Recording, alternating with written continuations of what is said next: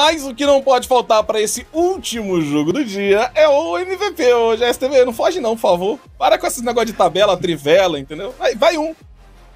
Não, pode ser um, um, um toca pro outro, pega de voleio. É, não, Bom, um, é. um, dia a gente inventa o MVP de rota, né? Que daí, se for bot, por exemplo, vai pra dois. Mas hoje, por enquanto, é um só. Ah, eu queria dar rota-rota o MVP. Mas tudo bem. É, desse jogo eu, vou, eu preferi pro Peanut. Por mais que eu tenha considerado que o Shea fez uma boa partida, eu acho que todas as primeiras decisões vieram do jogo dele, uma boa primeira rotação. A gente questionou o jogo dele no começo, sem o Skindred. Ele fez uma boa partida, assim, com, com essa Lilia. Eu acho que o Shea ele foi muito importante, muito impactante também nas lutas finais. Eu acho que é importante justificar por que não foi ele ainda mais depois dessa última grande luta, porque eu acho que quem foi tocando as primeiras bolas foi o Peanut, e o Shea foi pegando alguns abates que acabou ajudando bastante ele a crescer na partida, V7.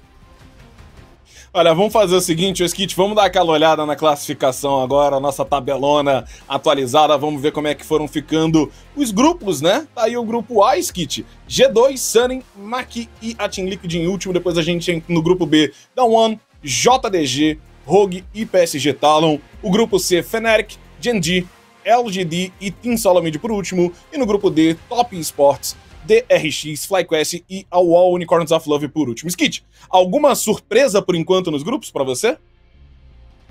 Acho que nenhuma grande surpresa, para ser super honesto. Acho que tudo dentro do esperado. O grupo C sendo super disputado, acho que a gente falou muito. Eu acho que a maior surpresa é a TSM de 03. É assim, não é surpresa. Eu tinha um pouquinho de esperança, já morreu. Então, Fnatic, GG e LGD vão brigar por essas duas vagas. Acho que é uma briga muito franca. São times que são bem voláteis, então em dias bons passa GNG LGD, passa Fnatic GNG, Fnatic LGD, tanto faz. Qualquer combinação desses três pode passar. Vai ser um dia bem emocionante, bem pegado com, eu aposto aqui, é, pelo menos um desempate. Pelo menos. Tá bom, então.